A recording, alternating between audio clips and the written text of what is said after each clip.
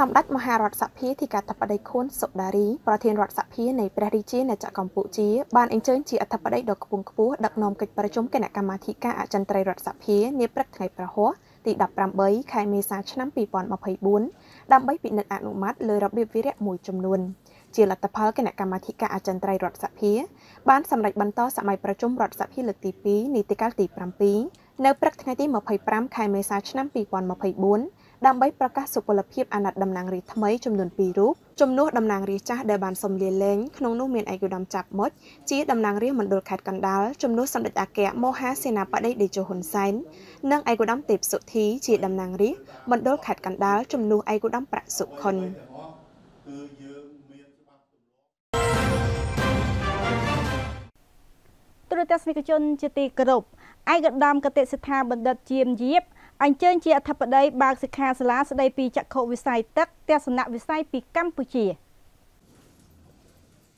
ឯកឧត្តមកតេសិដ្ឋាបណ្ឌិតជាមយៀបអនុប្រធានទី1រដ្ឋសភាតំណាងដ៏ខ្ពង់ខ្ពស់សម្ដេចមហារដ្ឋសភាទីការធិបតីខួនសូដារីប្រធានរដ្ឋសភានៃព្រះរាជាណាចក្រកម្ពុជាបានអញ្ជើញជាអធិបតីបើកសិក្ខាសាលាថ្នាក់ជាតិស្ដីពីចក្ខុវិស័យទឹកនៅកម្ពុជាដែលបានរៀបចំធ្វើឡើងនៅសន្តាគារ Hyatt Regency ភ្នំពេញនារសៀលថ្ងៃទី18ខែមេសាឆ្នាំ2024 នៅមុនពិធីបើកសិក្ខាសាលាស្ដីពីចក្ខុវិស័យទឹកនៅកម្ពុជាឯកឧត្តមកតេសិដ្ឋាបណ្ឌិតជាមយៀបអនុប្រធានទី1នៃរដ្ឋសភាបានអនុញ្ញាតឲ្យគណៈប្រតិភូក្រមប្រឹក្សាទឹកអាស៊ី AWC ដឹកនាំដោយឯកឧត្តមជុងហូអានអនុប្រធានប្រតិបត្តិនៃរដ្ឋកោទឹកកូរ៉េ K Water ចូលជួបសម្ដែងការគួសមនិងពិភាក្សាការងារនឹងសូមទទួលបានជោគជ័យក្នុងភារកិច្ចនៅក្នុង តមកឯកឧត្តមកតេសិដ្ឋាបណ្ឌិតជាមយៀបអនុប្រធានទី1រដ្ឋសភាតំណាងដ៏ខ្ពង់ខ្ពស់សម្ដេចមហារដ្ឋសភាទីការធិបតីខួនសូដារីប្រធានរដ្ឋសភានៃព្រះរាជាណាចក្រកម្ពុជាបានអញ្ជើញជាអធិបតីបើកសិក្ខាសាលាថ្នាក់ជាតិស្ដីពីចក្ខុវិស័យទឹកនៅកម្ពុជាដែលបានរៀបចំធ្វើឡើងនៅសន្តាគារ Hyatt Regency ភ្នំពេញនារសៀលថ្ងៃទី18ខែមេសាឆ្នាំ2024 សិក្ខាសាលានេះធ្វើឡើងក្នុងគោលបំណងបង្កើតរបៀបវិរៈអភិវឌ្ឍវិស័យទឹកសម្រាប់កម្ពុជាដែលជាប្រទេសសហប្រតិបត្តិការដ៏សំខាន់របស់កូរ៉េកំណត់អតិភិបសម្រាប់កិច្ចសហប្រតិបត្តិការរវាងប្រទេសទាំងពីរនិងតភ្ជាប់បង្កើតគម្រោងអភិវឌ្ឍលើវិស័យទឹកនៅកម្ពុជាបន្ទាប់ពីសន្ទរកថាស្វាគមន៍របស់ឯកឧត្តមបណ្ឌិតអានពេជ្រហដ្ឋដារដ្ឋលេខាធិការក្រសួងធនធានទឹកនិងអូតូនិយម និងសន្ទរកថាស្វាគមន៍របស់ឯកឧត្តមចុងហូអានអនុប្រធានប្រតិបត្តិនៃរដ្ឋកោទឹកកូរ៉េ K Water រួចមកក្នុងនាមសម្ដេចមហារដ្ឋសភាទីការធិបតីខួនសូដារីប្រធានរដ្ឋសភានៃព្រះរាជាណាចក្រកម្ពុជា និងក្នុងនាមឯកឧត្តមកតេសេដ្ឋាបណ្ឌិតផ្ទាល់បានមានប្រសាសន៍ថាសិក្ខាសាលាថ្នាក់ជាតិស្ដីពីវិស័យទឹកនៅកម្ពុជាក្រោមប្រធានបទ ការផ្ដល់យោបល់អំពីចក្ខុវិស័យទឹកថ្នាក់ជាតិសម្រាប់និរន្តរភាព និងវិបលភាពរួមរវាងកម្ពុជានិងក្រុមប្រឹក្សាទឹកអាស៊ីក្នុងបរិបទនៃវិបត្តិអាកាសធាតុដែលក្រុមប្រឹក្សាទឹកអាស៊ី Asia Water Council AWC និងវិទ្យាស្ថានចក្ខុវិស័យអាស៊ី Asian Vision Institute AVI បានព្រួយផ្ដើមសហការរៀបចំនាពេលនេះគឺពិតជាមានសារៈសំខាន់ណាស់ឯកឧត្តមកតេសិដ្ឋាបណ្ឌិតជាមយៀបបានមានប្រសាសន៍បន្តថា បច្ចុប្បន្នការប្រែប្រួលអាកាសធាតុគឺជាបញ្ហាប្រឈមសកល ដែលបង្កឡើងដោយកត្តាសំខាន់សំខាន់ដូចជា ការកើនឡើងនៃឧស្ម័នផ្ទះកញ្ចក់ការប្រើប្រាស់ចំហេះប្រេងឥន្ធនៈការកើនឡើងនៃចំនួនប្រជាជនពិភពលោក និងការរីករាលនៃគម្របព្រៃឈើពិភពលោកជាដើមវិបត្តិអាកាសធាតុបានក្លាយជាប្រធានបទសកលដែលទាមទារឲ្យមានការចូលរួមដោះស្រាយរួមគ្នាពីគ្រប់ភាគីពាក់ព័ន្ធទាំងអស់ទាំងប្រទេសតូចទាំងប្រទេសធំ ទាំងកម្រិតរដ្ឋាភិបាលវិស័យឯកជននិងអង្គការសង្គមស៊ីវិលឯកឧត្តមកតេសិដ្ឋាបណ្ឌិតអនុប្រធានទី1រដ្ឋសភាបានមានប្រសាសន៍ទៀតថា ប្រទេសកម្ពុជាក៏ដូចជាប្រទេសកំពុងអភិវឌ្ឍដទៃទៀតដែរបានរងផលប៉ះពាល់ដោយផ្ទាល់ពីការប្រែប្រួលអាកាសធាតុស្របពេលដែលចំនួនប្រជាជននិងទីក្រុងបានកើនឡើងជាបន្តបន្ទាប់ហើយបញ្ហាទឹកក៏បានក្លាយជាបញ្ហាប្រឈមភ្ជាប់ទៅនឹងការរីកចម្រើននៃទីក្រុង ដែលទាមទារឲ្យមានការយកចិត្តទុកដាក់ខ្ពស់ដើម្បីឆ្លើយតបទៅនឹងតម្រូវការរបស់ប្រជាជនទាំងនៅទីប្រជុំជនក៏ដូចជានៅទីជនបទ។ ឯកឧត្តមកតេសិដ្ឋាបណ្ឌិតបានមានប្រសាសន៍លើកឡើងពីការយកចិត្តទុកដាក់របស់រាជរដ្ឋាភិបាលកម្ពុជាតាំងពីមុនរហូតមកក្នុងការអភិវឌ្ឍសេដ្ឋកិច្ចសង្គមការលើកកម្ពស់ជីវភាពនិងសុខុមាលភាពរបស់ប្រជាពលរដ្ឋគ្រប់លំដាប់ថ្នាក់ក្រោមដំបូលនៃសន្តិភាពនិងតាមរយៈនយោបាយឈ្នះឈ្នះរបស់សម្ដេចអគ្គមហាសេនាបតីតេជោហ៊ុនសែនស្ថាបនិកសន្តិភាពកម្ពុជា ទន្ទឹមនឹងនេះរាជរដ្ឋាភិបាលនីតិកាលទី7នៃរដ្ឋសភាដែលដឹកនាំដោយសម្ដេចមហាបវរធិបតីហ៊ុនម៉ាណែតជានាយករដ្ឋមន្ត្រីក៏បានបន្តដឹកនាំអភិវឌ្ឍកម្ពុជាប្រកបដោយចក្ខុវិស័យវែងឆ្ងាយនិងច្បាស់លាស់ដោយបានបន្តកំណត់យកវិស័យទឹកជាអាទិភាពគន្លឹះមួយក្នុងចំណោមអាទិភាពគន្លឹះទាំង5នៅក្នុងយុទ្ធសាស្ត្របញ្ចកោណដំណាក់កាលទី1រួមមានមនុស្សផ្លូវទឹកភ្លើងនិងបច្ចេកវិទ្យា ឯកឧត្តមកតេសិដ្ឋបណ្ឌិតបានបង្ហាញក្តីសង្ឃឹមថាសិក្ខាសាលានាថ្ងៃនេះនឹងក្លាយជាវេទិកាពិភាក្សាផ្លាស់ប្តូរយោបល់និងបទពិសោធន៍អំពីស្ថានភាពជាក់ស្ដែងនិងចក្ខុវិស័យនៃទឹកនៅកម្ពុជាហើយក៏នឹងស្វែងយល់បន្ថែមអំពីបញ្ហាប្រឈមនិងកលានុវត្តភាពដើម្បីជំរុញការអនុវត្តគម្រោងពាក់ព័ន្ធនឹងវិស័យទឹកទៅតាមស្ថានភាពតម្រូវការជាក់ស្ដែង។ទន្ទឹមនឹងនេះអង្គសិក្ខាសាលាអាចពិចារណាដាក់ចេញអនុសាសន៍ឬបង្កើតផែនទីចង្អុលផ្លូវ road map មួយ សម្រាប់ការអភិវឌ្ឍវិស័យទឹកនៅកម្ពុជាដោយផ្អែកលើធាតុចូលសំខាន់ៗដែលទទួលបានពីអង្គសិក្ខាសាលានាថ្ងៃនេះ។ឯកឧត្តមកតេសិដ្ឋបណ្ឌិតជីមយៀបបានមានប្រសាសន៍បញ្ជាក់ថារដ្ឋសភាកម្ពុជានឹងបន្តសម្របសម្រួលពង្រឹងកិច្ចសហប្រតិបត្តិការក្នុងស្មារតីនៃវិបលភាពនិងការប្រើប្រាស់ទឹកប្រកបដោយសន្តិវិធីដើម្បីបង្កើនតម្លៃនៃកិច្ចសហប្រតិបត្តិការអន្តរជាតិនិងភាពជាដៃគូអន្តរជាតិសម្ដៅបង្កើតសុខុមាលភាពទឹកការគ្រប់គ្រងទឹកប្រកបដោយចីរភាព សកម្មភាពទឹកតាក់ទងនឹងអាកាសធាតុនៅប្រទេសកម្ពុជា និងតំបន់អាស៊ីតាមរយៈយន្តការនៃកិច្ចសហប្រតិបត្តិការសភានិងសភាសូមជម្រាបថាអង្គសិក្ខាសាលាថ្នាក់ជាតិស្ដីពីចក្ខុវិស័យទឹកនៅកម្ពុជាដែលបានរៀបចំឡើងនាឱកាសនេះមានការអញ្ជើញចូលរួមពីតំណាងមកពីរដ្ឋសភាក្រសួងរៀបចំដែនដីនគរពាណិជ្ជកម្មនិងសំណង់ក្រសួងធនធានទឹកនិងអូតុនិយមក្រសួងឧស្សាហកម្មវិទ្យាសាស្ត្របច្ចេកវិទ្យានិងនវានុវត្តន៍ ក្រសួងសាធារណការនិងដឹកជញ្ជូនក្រសួងប្រៃសណីនិងទូរគមនាគមន៍រដ្ឋកោទឹកស្វយ័តក្រុងភ្នំពេញរដ្ឋបាលរាជធានីខេត្តនិងវិទ្យាស្ថានចក្ខុវិស័យអាស៊ីក្រុមប្រឹក្សាទឹកអាស៊ីសាជីវកម្មធនធានទឹកកូរ៉េ K-Water ស្ថានទូតកូរ៉េប្រចាំនៅកម្ពុជា អង្គការកយការនិងធនាគារ KEXIM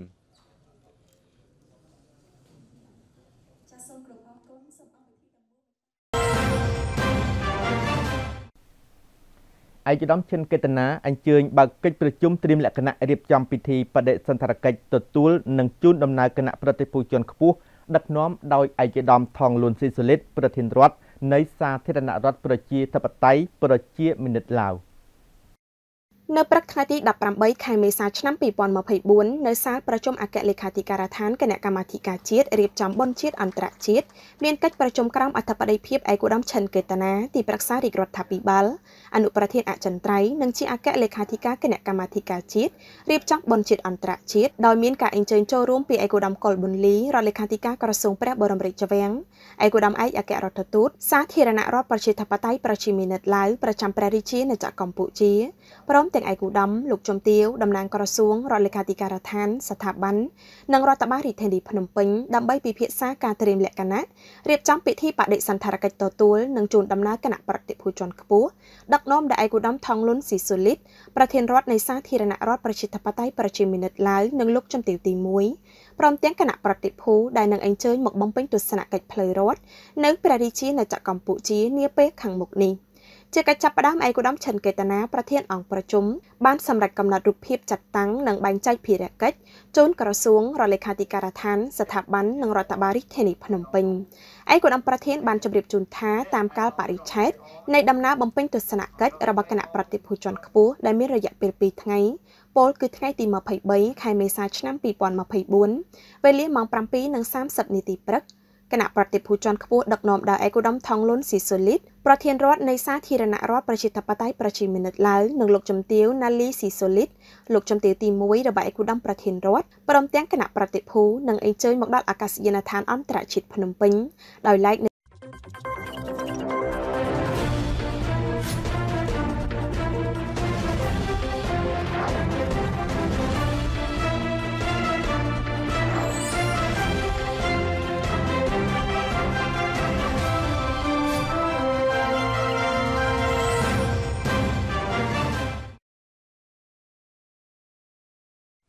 សូមគោរពនឹងជម្រាបសួរទូរទស្សនិកជនជាទីគោរពនិងជាទីមេត្រីជាបន្តសូមអញ្ជើញទស្សនាព័ត៌មានជាតិរបស់កញ្ញាយុគឋានទូរទស្សន៍កម្ពុជាដែលមានមេត្តាសំខាន់នៅក្នុងថ្ងៃនេះដូចតទៅ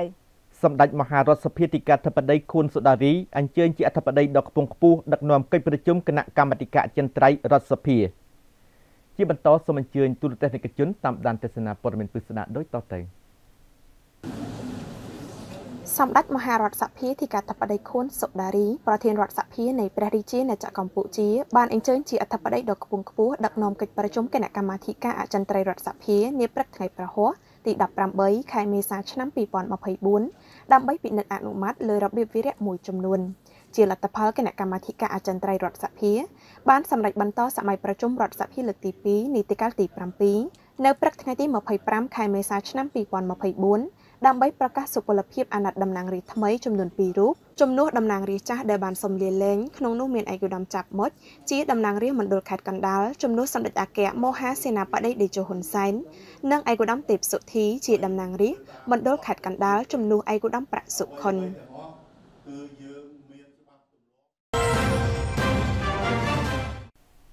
ទូរទស្សនិកជនជាទីគោរពឯកឧត្តមកតិសិដ្ឋាបណ្ឌិតជាមយៀប អញ្ជើញជាអធិបតីបើកសិក្ខាសាលាស្ដីពីចក្ខុវិស័យទឹកទស្សនវិស័យពីកម្ពុជាឯកឧត្តមកតេសិដ្ឋាបណ្ឌិតជាមយៀបអនុប្រធានទី1រដ្ឋសភាតំណាងដល់ខ្ពង់ខ្ពស់សម្ដេចមហារដ្ឋសភាទីការធិបតីខួនសូដារីប្រធានរដ្ឋសភានៃព្រះរាជាណាចក្រកម្ពុជាបានអញ្ជើញជាអធិបតីបើកសិក្ខាសាលាថ្នាក់ជាតិស្ដីពីចក្ខុវិស័យទឹកនៅកម្ពុជាដែលបានរៀបចំធ្វើឡើងនៅសន្តាគារ Hyatt Regency ភ្នំពេញនារសៀលថ្ងៃទី18ខែមេសាឆ្នាំ2024 នៅមុនពិធីបើកសិក្ខាសាលាស្ដីពីចក្ខុវិស័យទឹកនៅកម្ពុជាឯកឧត្តមកតេសិដ្ឋាបណ្ឌិតជាមយៀបអនុប្រធានទី1នៃរដ្ឋសភាបានអនុញ្ញាតឲ្យគណៈប្រតិភូក្រុមប្រឹក្សាទឹកអាស៊ី AWC ដឹកនាំដោយឯកឧត្តមជុងហូអានអនុប្រធានប្រតិបត្តិនៃរដ្ឋកោទឹកកូរ៉េ K Water ចូលជួបសម្ដែងការគួសមនិងពិភាក្សាការងារនឹងសូមទទួលបានជោគជ័យក្នុងភារកិច្ចនៅក្នុងព្រះរាជាណាចក្រកម្ពុជា តមកឯកឧត្តមកតេសិដ្ឋបណ្ឌិតជាមយៀបអនុប្រធានទី1រដ្ឋសភាតំណាងដល់ខ្ពង់ខ្ពស់សម្ដេចមហារដ្ឋសភាទីការធិបតីខួនសុដារីប្រធានរដ្ឋសភានៃព្រះរាជាណាចក្រកម្ពុជាបានអញ្ជើញជាអធិបតីបើកសិក្ខាសាលាថ្នាក់ជាតិស្ដីពីចក្ខុវិស័យទឹកនៅកម្ពុជាដែលបានរៀបចំធ្វើឡើងនៅសន្តាគារ Hyatt Regency ភ្នំពេញនារសៀលថ្ងៃទី18ខែមេសាឆ្នាំ2024 សិក្ខាសាលានេះធ្វើឡើងក្នុងគោលបំណងបង្កើតរបៀបវិរៈអភិវឌ្ឍវិស័យទឹកសម្រាប់កម្ពុជាដែលជាប្រទេសសហប្រតិបត្តិការដ៏សំខាន់របស់កូរ៉េកំណត់អធិភាពសម្រាប់កិច្ចសហប្រតិបត្តិការរវាងប្រទេសទាំងពីរនិងតភ្ជាប់បង្កើតគម្រោងអភិវឌ្ឍលើវិស័យទឹកនៅកម្ពុជា។បន្ទាប់ពីសន្ទរកថាស្វាគមន៍របស់ឯកឧត្តមបណ្ឌិតអានពេជ្រហត្ថដារដ្ឋលេខាធិការក្រសួងធនធានទឹកនិងអូតូនិយមនិងសន្ទរកថាស្វាគមន៍របស់ឯកឧត្តមចុងហូអាន អនុប្រធានប្រតិបត្តិនៃរដ្ឋកោទឹកកូរ៉េ K Water រួចមកក្នុងនាមសម្ដេចមហារដ្ឋសភាទីកាធិបតីខួនសូដារីប្រធានរដ្ឋសភានៃព្រះរាជាណាចក្រកម្ពុជា និងក្នុងនាមឯកឧត្តមកតេសេដ្ឋាបណ្ឌិតផ្ទាល់បានមានប្រសាសន៍ថាសិក្ខាសាលាថ្នាក់ជាតិស្ដីពីវិស័យទឹកនៅកម្ពុជាក្រោមប្រធានបទការផ្ដល់យោបល់អំពីចក្ខុវិស័យទឹកថ្នាក់ជាតិសម្រាប់និរន្តរភាពនិងវិបលភាពរួមរវាងកម្ពុជានិងក្រុមប្រឹក្សាទឹកអាស៊ីក្នុងបរិបទនៃវិបត្តិអាកាសធាតុ ដែលក្រុមប្រឹក្សាទឹកអាស៊ី Asia Water Council AWC និងវិទ្យាស្ថានចក្ខុវិស័យអាស៊ី Asian Vision Institute AVI បានព្រួយផ្ដើមសហការរៀបចំនាពេលនេះគឺពិតជាមានសារៈសំខាន់ណាស់ឯកឧត្តមកតេសិដ្ឋាបណ្ឌិតជាមយៀបបានមានប្រសាសន៍បន្តថាបច្ចុប្បន្នការប្រែប្រួលអាកាសធាតុគឺជាបញ្ហាប្រឈមសកល ដែលបង្កឡើងដោយកត្តាសំខាន់សំខាន់ដូចជា ការកើនឡើងនៃឧស្ម័នផ្ទះកញ្ចក់ការប្រើប្រាស់ចំហេះ ប្រេងឥន្ធនៈការកើនឡើងនៃចំនួនប្រជាជនពិភពលោក និងការរីករាលនៃគម្របព្រៃឈើពិភពលោកជាដើមវិបត្តិអាកាសធាតុបានក្លាយជាប្រធានបទសកលដែលទាមទារឲ្យមានការចូលរួមដោះស្រាយរួមគ្នាពីគ្រប់ភាគីពាក់ព័ន្ធទាំងអស់ទាំងប្រទេសតូចទាំងប្រទេសធំទាំងកម្រិតរដ្ឋាភិបាលវិស័យឯកជននិងអង្គការសង្គមស៊ីវិលឯកឧត្តមកតេសិដ្ឋាបណ្ឌិតអនុប្រធានទី1រដ្ឋសភាបានមានប្រសាសន៍ទៀតថា ប្រទេសកម្ពុជាក៏ដូចជាប្រទេសកំពុងអភិវឌ្ឍដទៃទៀតដែរបានរងផលប៉ះពាល់ដោយផ្ទាល់ពីការប្រែប្រួលអាកាសធាតុស្របពេលដែលចំនួនប្រជាជននិងទីក្រុងបានកើនឡើងជាបន្តបន្ទាប់ហើយបញ្ហាទឹកក៏បានក្លាយជាបញ្ហាប្រឈមភ្ជាប់ទៅនឹងការរីកចម្រើននៃទីក្រុង ដែលទាមទារឲ្យមានការយកចិត្តទុកដាក់ខ្ពស់ដើម្បីឆ្លើយតបទៅនឹងតម្រូវការរបស់ប្រជាជនទាំងនៅទីប្រជុំជនក៏ដូចជានៅទីជនបទ ឯកឧត្តមកតេសិដ្ឋាបណ្ឌិតបានមានប្រសាសន៍លើកឡើងពីការយកចិត្តទុកដាក់របស់រាជរដ្ឋាភិបាលកម្ពុជាតាំងពីមុនរហូតមកក្នុងការអភិវឌ្ឍសេដ្ឋកិច្ចសង្គមការលើកកម្ពស់ជីវភាពនិងសុខុមាលភាពរបស់ប្រជាពលរដ្ឋគ្រប់លំដាប់ថ្នាក់ក្រោមដំបូលនៃសន្តិភាពនិងតាមរយៈនយោបាយឈ្នះឈ្នះរបស់សម្ដេចអគ្គមហាសេនាបតីតេជោហ៊ុនសែនស្ថាបនិកសន្តិភាពកម្ពុជា។ ទន្ទឹមនឹងនេះរាជរដ្ឋាភិបាលនីតិកាលទី7នៃរដ្ឋសភាដែលដឹកនាំដោយសម្ដេចមហាបវរធិបតីហ៊ុនម៉ាណែតជានាយករដ្ឋមន្ត្រីក៏បានបន្តដឹកនាំអភិវឌ្ឍកម្ពុជាប្រកបដោយចក្ខុវិស័យវែងឆ្ងាយនិងច្បាស់លាស់ដោយបានបន្តកំណត់យកវិស័យទឹកជាអតិភិបគន្លឹះមួយក្នុងចំណោមអតិភិបគន្លឹះទាំង5នៅក្នុងយុទ្ធសាស្ត្របញ្ចកោណដំណាក់កាលទី1រួមមានមនុស្សផ្លូវទឹកភ្លើងនិងបច្ចេកវិទ្យា ឯកឧត្តមកតេសិដ្ឋបណ្ឌិតបានបង្ហាញក្តីសង្ឃឹមថាសិក្ខាសាលានាថ្ងៃនេះនឹងក្លាយជាវេទិកាពិភាក្សាផ្លាស់ប្តូរយោបល់និងបទពិសោធន៍អំពីស្ថានភាពជាក់ស្ដែងនិងចក្ខុវិស័យនៃទឹកនៅកម្ពុជាហើយក៏នឹងឆ្វេងយល់បន្ថែមអំពីបញ្ហាប្រឈមនិងកលានុវត្តភាពដើម្បីជំរុញការអនុវត្តគម្រោងពាក់ព័ន្ធនឹងវិស័យទឹកទៅតាមស្ថានភាពតម្រូវការជាក់ស្ដែង ទន្ទឹមនឹងនេះអង្គសិក្ខាសាលាអាចពិចារណាដាក់ចេញអនុសាសន៍ឬបង្កើតផែនទីចង្អុលផ្លូវ road map មួយសម្រាប់ការអភិវឌ្ឍវិស័យទឹកនៅកម្ពុជាដោយផ្អែកលើធាតុចូលសំខាន់សំខាន់ដែលទទួលបានពីអង្គសិក្ខាសាលានាថ្ងៃនេះ ឯកឧត្តមកតេសិដ្ឋបណ្ឌិតជីមយៀបបានមានប្រសាសន៍បញ្ជាក់ថារដ្ឋសភាកម្ពុជានឹងបន្តសម្របសម្រួលពង្រឹងកិច្ចសហប្រតិបត្តិការក្នុងស្មារតីនៃវិបលភាពនិងការប្រើប្រាស់ទឹកប្រកបដោយសន្តិវិធីដើម្បីបង្កើនតម្លៃនៃកិច្ចសហប្រតិបត្តិការអន្តរជាតិនិងភាពជាដៃគូអន្តរជាតិសម្ដៅបង្កើតសុខុមាលភាពទឹកការគ្រប់គ្រងទឹកប្រកបដោយចីរភាព សកម្មភាពទឹកតាក់ទងនឹងអាកាសធាតុនៅប្រទេសកម្ពុជានិងតំបន់អាស៊ីតាមរយៈយន្តការនៃកិច្ចសហប្រតិបត្តិការសភានិងសភាសូមជម្រាបថាអង្គសិក្ខាសាលាថ្នាក់ជាតិស្ដីពីចក្ខុវិស័យទឹកនៅកម្ពុជាដែលបានរៀបចំឡើងនាឱកាសនេះមានការអញ្ជើញចូលរួមពីតំណាងមកពីរដ្ឋសភាក្រសួងរៀបចំដែនដីនគរពាណិជ្ជកម្មនិងសំណង់ក្រសួងធនធានទឹកនិងអូតូនិយមក្រសួងឧស្សាហកម្មវិទ្យាសាស្ត្របច្ចេកវិទ្យានិងនវានុវត្តន៍ ក្រសួងសាធារណការនិងដឹកជញ្ជូនក្រសួងប្រៃសណីនិងទូរគមនាគមន៍រដ្ឋកោទឹកស្វយ័តក្រុងភ្នំពេញរដ្ឋបាលរាជធានីខេត្តនិងវិទ្យាស្ថានចក្ខុវិស័យអាស៊ីក្រុមប្រឹក្សាទឹកអាស៊ីសាជីវកម្មធនធានទឹកកូរ៉េ K-Water ស្ថានទូតកូរ៉េប្រចាំនៅកម្ពុជា អង្គការកយការ និងធនាគារ KSIM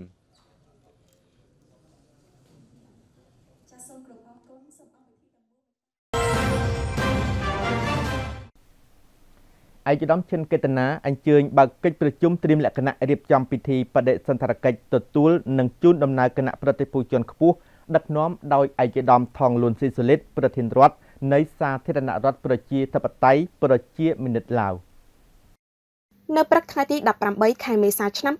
2024នៅសាលប្រជុំអគ្គលេខាធិការដ្ឋានគណៈកម្មាធិការជាតិរៀបចំបុណ្យជាតិអន្តរជាតិមានកិច្ចប្រជុំក្រោមអធិបតីភាពឯកឧត្តមឈិនកេតនាទីប្រឹក្សារាជរដ្ឋាភិបាលអនុប្រធានអចិន្ត្រៃយ៍និងជាអគ្គលេខាធិការគណៈកម្មាធិការជាតិរៀបចំបុណ្យជាតិអន្តរជាតិដោយមានការអញ្ជើញចូលរួមពីឯកឧត្តមកុលប៊ុនលីរដ្ឋលេខាធិការក្រសួងព្រះបរមរាជវាំង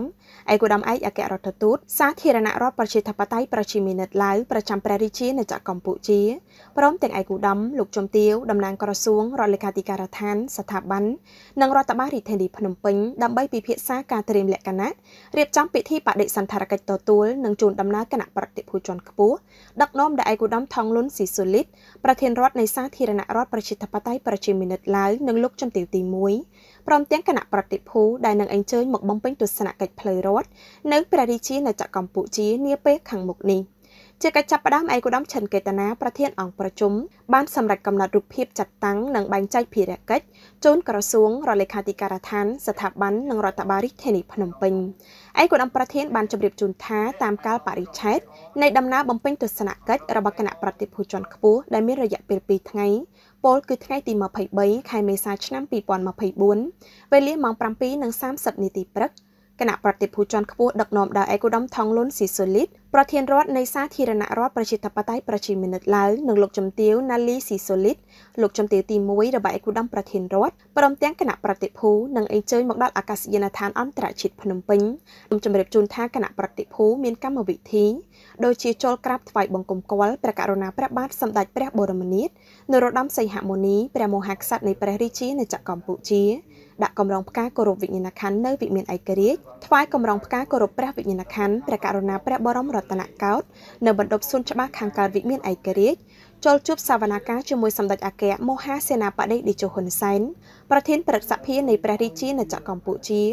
ចូលជួបសវនាការជាមួយសម្ដេចមហារដ្ឋសភាទីកាធិបតីខួនសុដារីប្រធានរដ្ឋសភានៃព្រះរាជាណាចក្រកម្ពុជា ចូលជួបសវនាការជាមួយសម្ដេចមហាបវរធិបតីហ៊ុនម៉ាណែតនាយករដ្ឋមន្ត្រីនៃព្រះរាជាណាចក្រកម្ពុជានៅវិមានសន្តិភាពព្រះរាជពិធីលៀងសាយភុចផ្លូវរដ្ឋនៅក្នុងព្រះបរមរាជវាំងសម្រាប់កម្មវិធីលោកជំទាវណាលីស៊ីសូលីតលោកជំទាវទី1របស់ឯកឧត្តមប្រធានរដ្ឋមានដូចជាអញ្ជើញទស្សនាសារមន្ទីរព្រះករុណាព្រះបាទសម្ដេចព្រះនរោត្តមសីហនុព្រះបរមរតនកោដ្ឋក្នុងព្រះបរមរាជវាំងអញ្ជើញទស្សនាវិមានព្រះកៅមរកតក្នុងព្រះបរមរាជវាំង អញ្ជើញទស្សនាវិមានឈ្នះឈ្នះអញ្ជើញទស្សនាសារមន្ទីរជាតិអញ្ជើញទស្សនាវត្តភ្នំនិងអញ្ជើញទស្សនាផ្សារធំថ្មីសម្រាប់អគ្គនាយកដ្ឋានទូរទស្សន៍ជាតិកម្ពុជាមានភារកិច្ចផ្សព្វផ្សាយខ្លឹមសារជីវប្រវត្តិរបស់ឯកឧត្តមថងលុនស៊ីសូលីតឲ្យបានមុន3ថ្ងៃនៅពេលគណៈប្រតិភូអញ្ជើញមកដល់ ភារកិច្ចថតយកព័ត៌មាននិងផ្សព្វផ្សាយខ្លឹមសារនៃដំណើរទស្សនកិច្ចរបស់គណៈប្រតិភូអញ្ជើញដល់អំឡុងបំពេញទស្សនកិច្ចនិងធ្វើមាតុភូមិនិវត្តន៍សូមបញ្ជាក់ថាដំណើរទស្សនកិច្ចផ្លូវរដ្ឋរបស់ឯកឧត្តមប្រធានរដ្ឋនាឱកាសនេះសោបញ្ជាក់ច្បាស់អំពីការបដិញ្ញាចិត្តយ៉ាងមោះមុតរបស់ប្រទេសទាំងពីរក្នុងការលើកកម្ពស់និងពង្រឹងនូវទំនាក់ទំនងល្អប្រពៃដែលមានស្រាប់និងភាពជាដៃគូយុទ្ធសាស្ត្រព្រមទាំងកិច្ចសហប្រតិបត្តិការរវាងកម្ពុជានិងឡាវទាំងក្នុងក្របខ័ណ្ឌទ្វេភាគីនិងពហុភាគីសម្រាប់ប្រយោជន៍ទៅវិញទៅមកនៃប្រទេសនិងប្រជាជនទាំងពីរឯកឧត្តមឆិនកេតនាប្រធានអង្គប្រជុំក៏បានសំណូមពរឲ្យឯកឧត្តមលោកជំទាវតំណាងក្រសួងរដ្ឋលេខាធិការដ្ឋានស្ថាប័ននិងរដ្ឋបាលរាជធានីភ្នំពេញធ្វើការរាយការណ៍ជូនថ្នាក់ដឹកនាំឲ្យបានជ្រាបនិងអនុវត្តតាមស្មារតីអង្គប្រជុំឲ្យទទួលបានលទ្ធផលល្អប្រសើរបំផុត។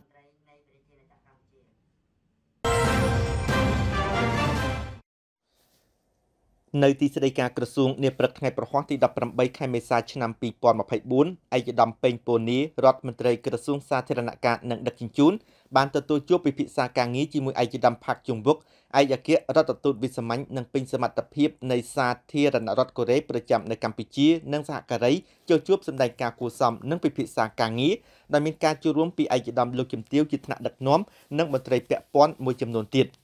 ជំនួបនាព្រឹកនេះបានប្រព្រឹត្តទៅក្រោមបរិយាកាសរីករាយស្និទ្ធស្នាលក្នុងគោលបំណងរឹតបន្តឹងកិច្ចសហប្រតិបត្តិការការទូតរវាងប្រទេសទាំងពីរកម្ពុជាកូរ៉េឲ្យកាន់តែមានភាពរឹងមាំនិងស៊ីជម្រៅ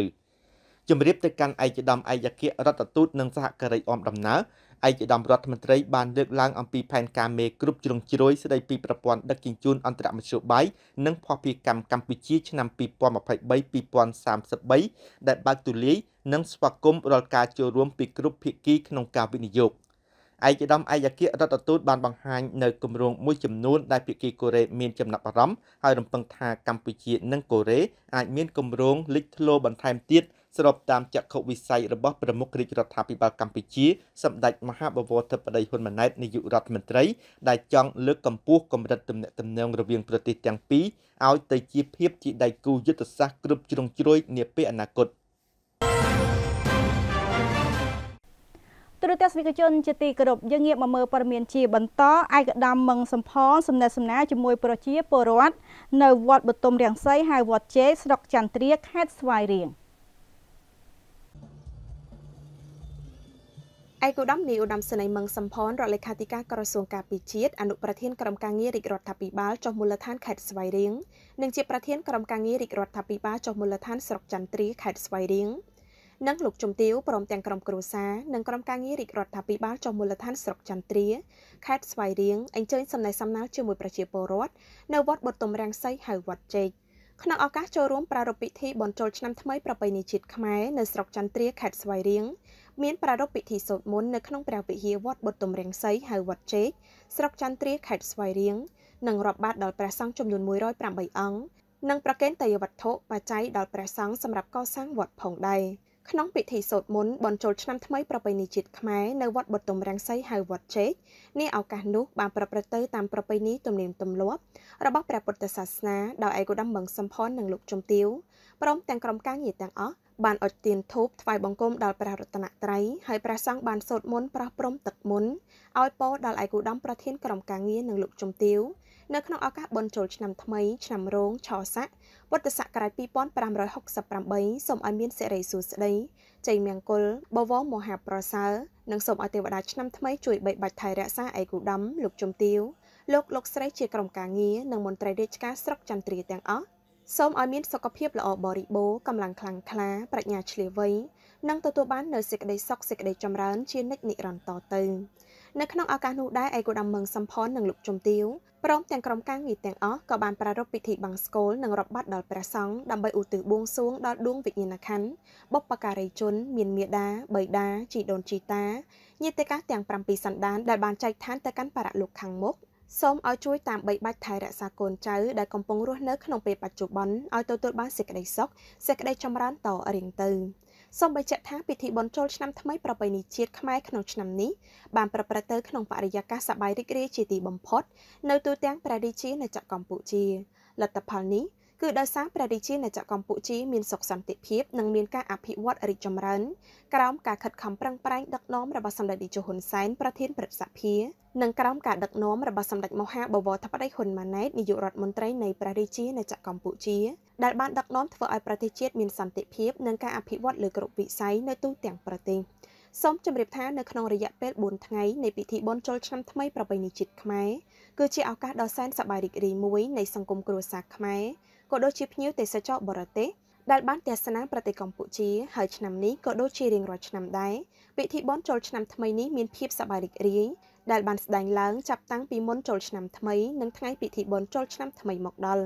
ជាពិសេសពិធីបុណ្យចូលឆ្នាំថ្មីនេះកាន់តែមានភាពអធិកអធមកាន់តែខ្លាំងក្លាឡើងថែមទៀតដែលបានប្រព្រឹត្តទៅនៅក្រោមម្លប់សុខសន្តិភាពនិងការអភិវឌ្ឍន៍ អ្វីដែលពិសេសទៀតនោះគឺនេះជាពិធីបុណ្យចូលឆ្នាំលើកដំបូងសម្រាប់រាជរដ្ឋាភិបាលនីតិកាលទី7នៃរដ្ឋសភាដឹកនាំដោយសម្ដេចមហាបវរធិបតីហ៊ុនម៉ាណែតនាយករដ្ឋមន្ត្រីនៃព្រះរាជាណាចក្រកម្ពុជា ការប្រារព្ធពិធីបុណ្យចូលឆ្នាំថ្មីឆ្នាំ2024នេះបានដំណើរការទៅមុខបានយ៉ាងល្អប្រកបដោយភាពសប្បាយរីករាយយ៉ាងខ្លាំងនៅទូទាំងប្រទេសដោយសារមុនពិធីបុណ្យចូលឆ្នាំថ្មីមកដល់សម្ដេចមហាបវរធិបតីហ៊ុនម៉ាណែតប្រមុខរាជរដ្ឋាភិបាលបានណែនាំរួចជាស្រេចឲ្យអាជ្ញាធរគ្រប់លំដាប់ថ្នាក់ត្រៀមលក្ខណៈរៀបចំពិធីបុណ្យចូលឆ្នាំថ្មីឲ្យបានល្អបំផុតដើម្បីបម្រើឲ្យការកំសាន្តសប្បាយរបស់ប្រជាពលរដ្ឋនិងភ្ញៀវទេសចរបរទេសដែលមកទស្សនាប្រទេសកម្ពុជា។ សុខសន្តិភាពដែលយើងទទួលបានក្នុងពេលបច្ចុប្បន្ននេះបានបង្កឲ្យមានការសប្បាយរីករាយនិងស្នាមញញឹមរបស់ប្រជាពលរដ្ឋគ្រប់ទិសទីក្នុងពិធីប្រារព្ធបុណ្យចូលឆ្នាំថ្មីប្រពៃណីជាតិខ្មែរនៅវត្តបទុមរាំងសីនាឱកាសនោះឯកឧត្តមមឹងសំផននិងលោកជំទាវក៏បានប្រគេនបច្ច័យជូនព្រះសង្ឃក្នុងមួយអង្គមួយសែនរៀលចង្ហាន់មួយស្រាក់អង្គចំនួន1បាវ ឯកឧត្តមមឹងសំផននិងលោកជំទាវក៏បានរៀបចំហូបបាយសាមគ្គីជូនដល់ចាស់ចាស់អាយុ60ឆ្នាំឡើងទៅចំនួនជាង300នាក់ព្រមទាំងចែកអំណោយជូនមានសារ៉ុងមួយក្រមាមួយនិងថវិកាក្នុងម្នាក់ម្នាក់ចំនួន20000រៀលហើយឯកឧត្តមនិងលោកជំទាវក៏បានរៀបចំហូបបាយសាមគ្គីនិងចែកជូននៅថវិកាដល់កងកម្លាំងប្រដាប់អាវុធជាង100នាក់មានកងទ័ពអាវុធហត្ថប៉ូលីសនិងប្រជាការពារក្នុងម្នាក់ម្នាក់ទទួលបានថវិកា50000រៀល នៅក្នុងឱកាសចូលរួមអបអរសាទរសង្ក្រាន្តឆ្នាំថ្មីនៅវត្តបទុមរាំងសីហៅវត្តជែកស្រុកចន្ទ្រានាពេលនោះពេលរាត្រីក៏មានការបាញ់កាំជ្រួចបង្ហោះគោមនិងរៀបចំលេងល្បែងប្រជាប្រិយកំសាន្តសប្បាយដោយមានការចូលរួមពីបងប្អូនប្រជាពលរដ្ឋយុវជនយុវនារីស្រុកចន្ទ្រាយ៉ាងច្រើនកកកដើម្បីអបអរសាទរពិធីបុណ្យចូលឆ្នាំថ្មីប្រពៃណីជាតិ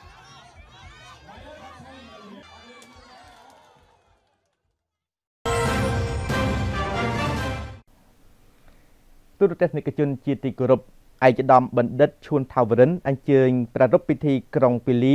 យាងព្រះពុទ្ធបដិមាករតម្កល់ក្នុងព្រះវិហារវត្តបទុមរាជាខេត្តក្រចេះ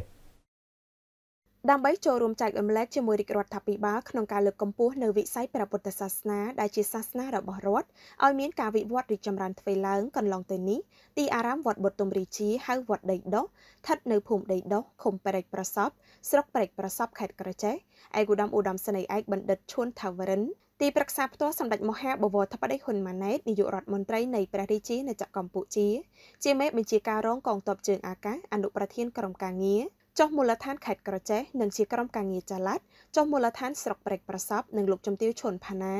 អគ្គមហាឧបាសិកាករុណានុពន្ធញៀនសេរីនីពុទ្ធសាសនុបឋមព្រមទាំងបុត្របានប្រារព្ធពិធីយាងព្រះពុទ្ធរូបទាំង5អង្គឡើងប្រថាប់លើបល្ល័ង្កក្នុងព្រះវិហារវត្តបុទុមរាជាស្ថិតនៅភូមិដីដុះឃុំព្រែកប្រសពស្រុកព្រែកប្រសព ដោយឯកឧត្តមបណ្ឌិតបាននិមន្តព្រះរាជាគណៈព្រះថេរានុថេរៈចំនួន7អង្គ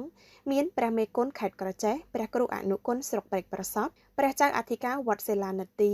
ព្រះចៅអធិការវត្តព្រែកប្រសពព្រះចៅអធិការវត្តបុទុមរាជាដីដុះព្រះចៅអធិការវត្តទួលត្រង់និងព្រះចៅអធិការវត្តបឹងឡាច